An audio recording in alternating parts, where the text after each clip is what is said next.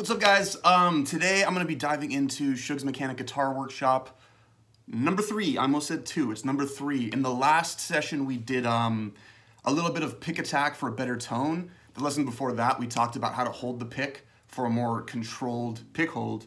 So if you really look backwards, we're, we're, we're moving forwards in how we go from the way we hold our pick to the way we use our pick, and now we're going to talk about ways to interface with the strings, kind of taking advantage of human anatomy and guitar anatomy, which reminds me, I actually meant to pin that. Let's see if I can do that real quick. How do you even pin? I don't even know how to do this. Let me see. Nope. All right, guys. Um, anyways, moving forward. So what I want to talk to you guys today about is specifically how we move across the strings to take advantage of everything. So, in other words, there's a slew of options we have here, right? Like we can go straight up and down, we could go this way, we could use my wrist to go like that, I could use my arm to go like that, I could go forwards. There's so many different opportunities and directions that we could take this. And one of the things that I want to point out is that there is one that sounds and works the best for guitar anatomy and the anatomy of the human body. I want to talk to you guys about that. I call this idea home position. This is something I stumbled on many, many years ago in my own like research and studies on how to just find the best, most effective tone, on how to make it standardized, because that's that's my method is trying to like standardize ideas and approaches so I could kind of set it and forget it, easy bake oven life. Um, so really quickly, let's do a little tone test. If you guys want to follow along, that's awesome. I'm playing a seven string, but I'm gonna ignore the seventh string for now. So on the E string, let's go ahead and find Josh Walraven, one of my old students. He was a massive, massive uh, absorber of this idea and it changed the way he was playing. It was awesome. Um, so really quick, if you want to go ahead and grab a guitar and do this with me, I'm going to play on the low E string.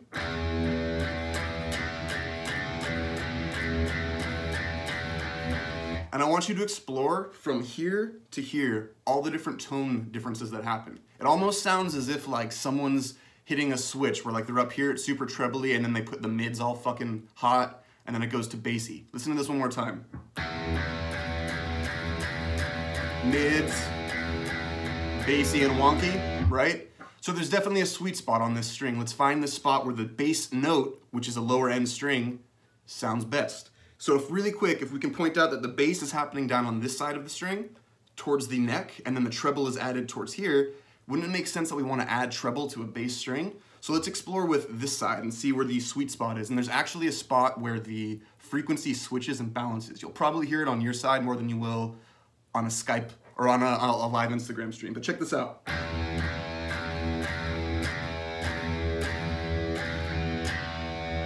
Can you hear that? Can you hear where there's like a presence and a snap and a brightness and a clarity that enters? Right there and then it disappears, watch. So what that is, believe it or not, it's right here in front of this pickup, the little like cliff drop off right where this, this pickup ends. Let's discover the next string. Yo, Wesley Skies. Dude's a fucking incredible vocalist. Go follow this guy. Super, super sick. Always putting out cool content. The next string, let's try the A string.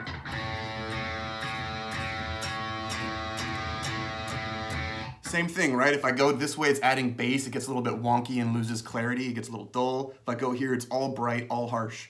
Let's find the sweet spot, the, uh, the Goldilocks zone, right?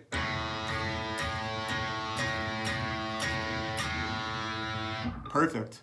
And by nature of what we'll be discovering, it is a little bit ahead of the string before it. Let's go to the D string.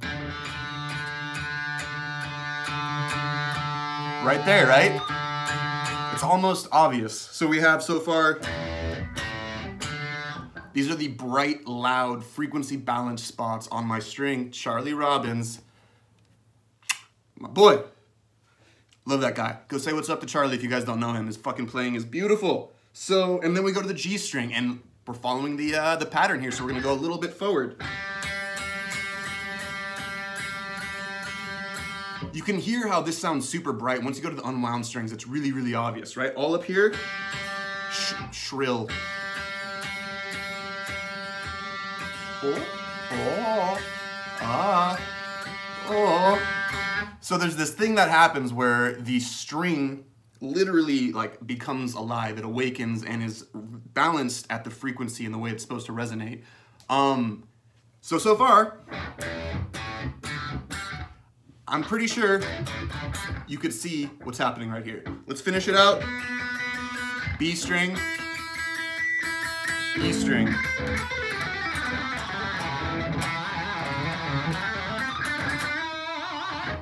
The premise here is that we're now following a 45 degree angle from the inside of this pickup to the inside of this pickup. And by sticking on this track, you're effectively staying on course for the best tone per string, no matter what. I call this home position. Um, it's the idea that every string has a home and a proper position to be optimal, right? You're, you're trying to interface with your strings properly. So, that being said, we have this 45 degree angle that I'm sitting on, right? Notice something real quick. I have a 45 degree angle already in my fucking arm, right? Isn't my arm already sitting on that line? Isn't my thumb already sitting on that 45 degree angle? Aren't my fingers, if I just open them forward, already sitting on that angle? My index finger, isn't it sitting on the same 45 degree angle as my thumb, as my arm? It's insane. Shoot, 30 seconds of watching this. Ah, Wesley, that's freaking awesome, dude. I hope it helps you, man. Like, it's a, such a simple thing to add to your playing. Changes the fucking game. Um, so yeah, what we're doing is we have these 45 degree angles. I call this the law of 45 degrees. It's everywhere in guitar playing. Take note of that. So then the question becomes, all right, I have this 45 degree angle that I'm traveling on. What do I do with that? How do I think about this to make it really, really effective and simple? To me, it's like, uh, you know, bowling bumpers that you put down like the, the gutter ball lane so you make sure you don't bounce back and forth. I imagine there's that on the sides of my arm. It's like a highway, a lane highway, or a highway lane, I'm sorry. It's my arm travels across that. So then there's a, mech, a mechanic that's going on in here that might be a little bit confusing to some. How do we make my arm move across this way while having freedom in my wrist? Simple.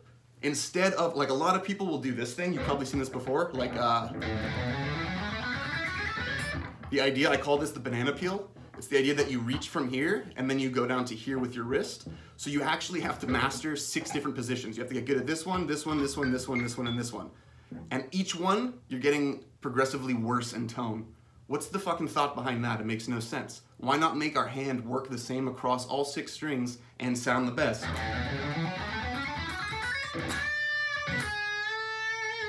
Right, balanced, creamy, sultry, fucking good stuff. So the method is rather than banana peel, or a lot of times people use only elbow, right? So then it becomes this thing, like a little jerking off motion, yeah, good stuff. And then the other option is like, what if we just use our shoulder? Then we're fucking yo-hoing like a pirate.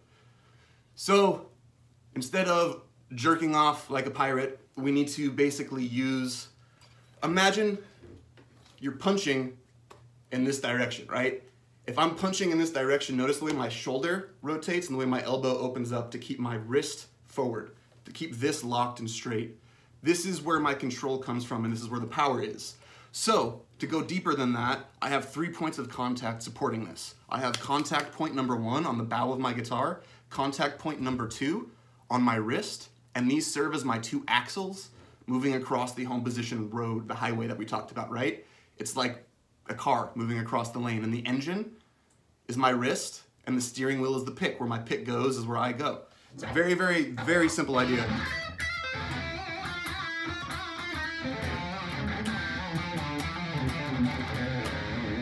And like, there's a lot of times too where you go and you take the artistic approach where it's like, all right, like if I'm riffing, I want a little bit more attack on those strings so I can break the rule. Right? Like give, give yourself a little more snap and attack. But then you have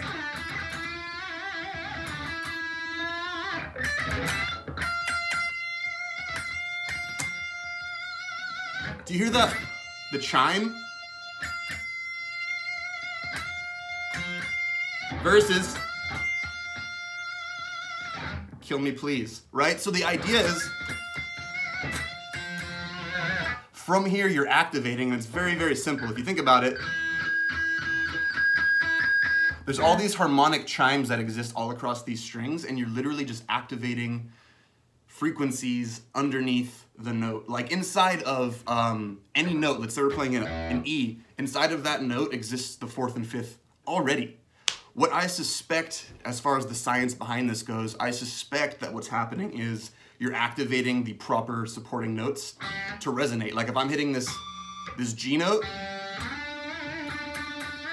in my proper spot, not here, hear the difference? I'm activating the fourth and fifth properly so it's a full, bold sounding note. If I don't do that, then it starts to lose that shit, and I actually might bring in resonation or resonant uh, tones that I don't want, things that make the tone a little bit worse. So again, we have three points of contact. We have the arm, we have the wrist, these are axles, and then we have the wrist is my engine, and then the pick itself is the wheel. The last thing that I want to end off on this, because this is, I'm trying to make these quick lessons for you guys, about 10 to 15 minutes.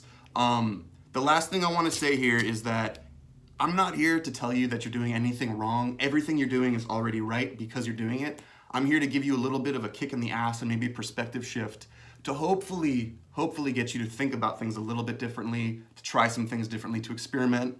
That's where all of my revelations came from and my own experiences and my own experiments. And I like to share that shit with you guys because it's fun for me. It's fun to uh, open up my mind and get your guys' feedback and hopefully help some of you guys. Maybe some of you guys ask questions that help me understand this more. It's all a win. Um, so that being said, guys, I really, really hope you enjoyed Sug's Mechanic Workshop number three. I'll try to do this next Sunday. I got slammed this past weekend, so I had to do it today. But other than that, guys, I freaking love you. If you want to link up for lessons, hit me up, uh, shoot me a message, or go to dansugarmanlessons at gmail.com. Shoot me an email or everfret.com slash danlessons. All in all, I freaking love you guys. I'll see you very, very soon. Hope you enjoyed. Peace.